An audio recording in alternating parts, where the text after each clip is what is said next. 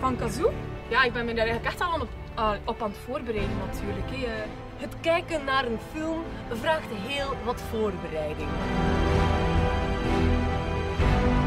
Een belangrijke gebeurtenis in mijn leven. Uh, dus ja, ik moet me daarop voorbereiden. Als ik me daar niet op voorbereid, mentaal, dan gaat dat mislopen. Hè. Dus ik moet op voorhand verschillende stappen ondernemen om die avond tot een goed einde te brengen. En een van die stappen is, zoals dat we nu aan het doen zijn,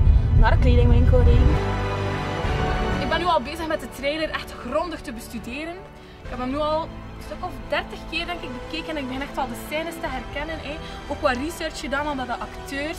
En ik wil echt op de filmavond zelf de tekst kunnen meespreken natuurlijk. Ik wil weten welke woorden dat de acteurs gebruiken en dan ja, natuurlijk kunnen pronken met mijn kennis. Allereerst raadpleeg ik natuurlijk Nietzsche, waardoor ik kan nagaan of de film eerder Dionysische of Apollonische kenmerken vertoont, waardoor ik dus kan nagaan in hoeverre de film een diepe onderliggende betekenis heeft.